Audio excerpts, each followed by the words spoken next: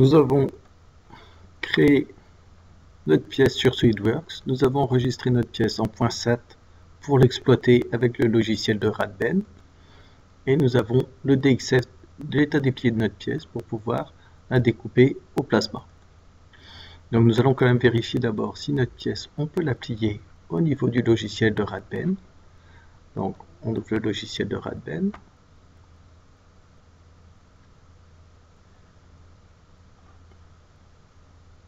Et nous allons ouvrir notre fichier en type de fichier ici acis.sat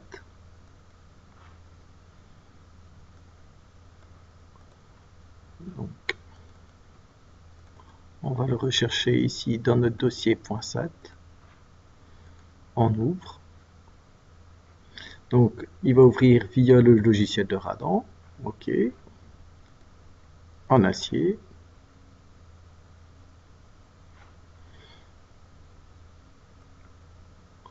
Donc nous allons avoir notre boîte ici à l'état déplié.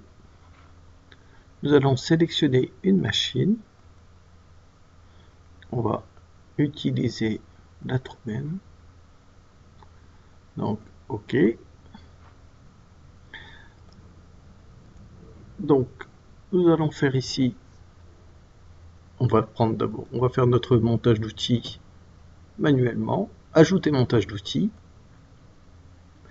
on va sélectionner ici notre outil, notre grand outil ici.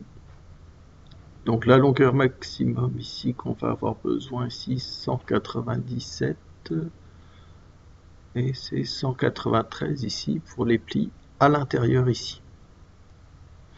Donc on va garder ici, on va se rapprocher au maximum ici de nos 193. on peut mettre ici la longueur minimale souhaité ici, 193. On fait appliquer et lui va venir ici sélectionner automatiquement les outils. Donc nous on avait décidé de le plier avec un V de 12. On s'aperçoit ici que dans nos V disponibles, on n'a que 8, 16, 24 et 50. Alors si vous n'avez pas cette colonne là ici, vous faites un clic droit et vous pouvez sélectionner les différentes euh, onglets qui peuvent apparaître ici. Donc vous prenez largeur de V s'il n'apparaît pas. Comme ça, vous avez directement la largeur du V ici. On va sélectionner, donc on est en épaisseur ici 1,5. On va prendre notre V de 8.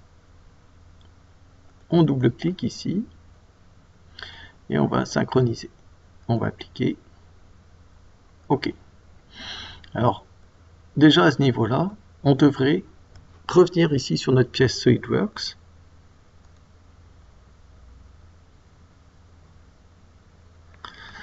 Parce qu'on s'aperçoit qu'on n'a pas de V12 disponible sur cette machine-là. Donc je vais ouvrir ma pièce et il faudrait que je vienne modifier mon rayon intérieur dans ma pièce ici que j'ai fait en tôlerie. Donc je réouvre ma pièce. Je prends ma, éditer ma fonction de tôlerie ici. Et ici, je vais prendre mon V.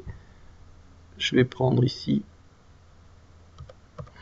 Alors on peut faire directement le calcul ici. Mon V divisé par 8. Euh, par 6, pardon. Alors je prends mon V de 8 je refais 8 divisé par 6, je peux faire directement les opérations dessus, et je fais entrée, entrée, et il va me faire le calcul automatiquement. Hein, c'est le V divisé par 6, notre rayon intérieur, à peu près. Donc je valide.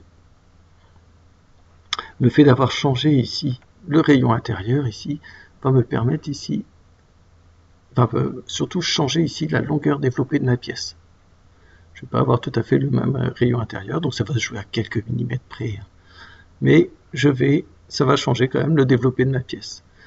Donc dans ces cas-là, il faut réenregistrer, fichier, enregistrer à nouveau sa pièce en .sat et réenregistrer aussi sa pièce en DXF. Donc revenir ici à CIS.sat Je l'écrase. Voulez-vous le remplacer? Oui. Et je vais faire fichier. Euh, ici, sur mon état déplié. Il faut que je le réenregistre aussi. Donc c'est une petite manip hein, qu'il ne faut pas oublier de faire pour avoir son d'être au plus proche de ce qu'on veut obtenir. Et j'enregistre par-dessus, oui. Je valide ma tollerie.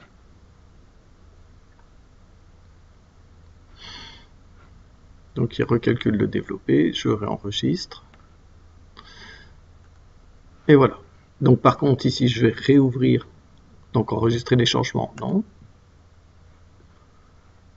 Je vais reprendre ici mon dossier, ma pièce en que je viens de réenregistrer par-dessus. Donc je prends fichier modèle acis.sat et je réouvre ma pièce. Donc voulez-vous donc, il va enregistrer, il va ouvrir la pièce, acier, OK. Il va me demander si je veux enregistrer les changements, non. je ne veux pas enregistrer, ça c'est une ancienne pièce, donc je lui dis non. Et il me réouvre ma nouvelle pièce ici avec un nouveau rayon de pliage ici. Donc je reprends la troubaine ici. Je vais ajouter mon montage d'outils ici. Donc j'avais dit longueur minimale souhaitée 193, appliquer. Je vais prendre mon V8, synchroniser avec les poinçons, donc il sélectionne les mêmes, appliquer, OK. Et j'ai mon poinçon ici, qui est là. Là, je vais tout réaliser avec le même poinçon. Donc je vais ici faire un clic droit au niveau du 1 ici de, mon montage d'outils et je vais attribuer mes plis. Là, je vais assigner à tous mes plis. Donc, il dit que la longueur du poinçon n'est pas compatible, c'est pas grave. Et je vais mettre ici les butées.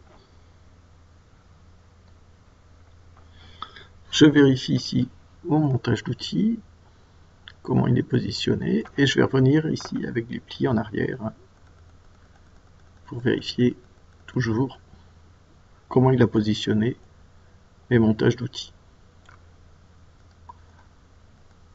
Donc, il me fait ce pli-là, les plis extérieurs, on plie celui-là, celui-là, et ici, il va venir plier ma pièce.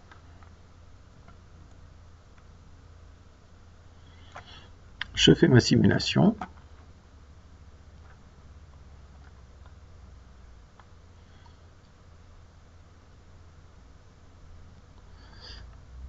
On va essayer d'aller un petit peu plus vite.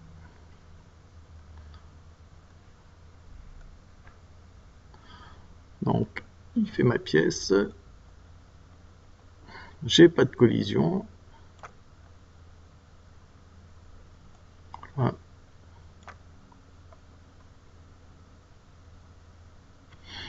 Et il finit ma pièce.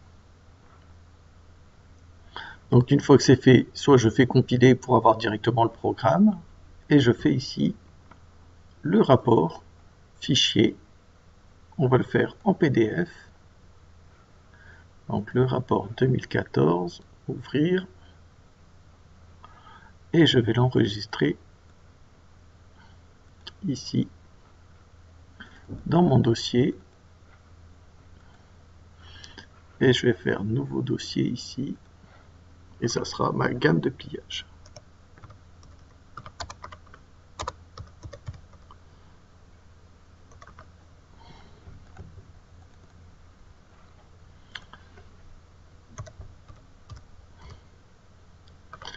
Donc c'est gamme pièce.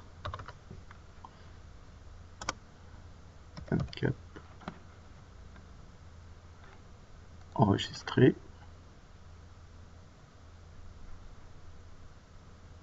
Il me crée ma gamme de pliage.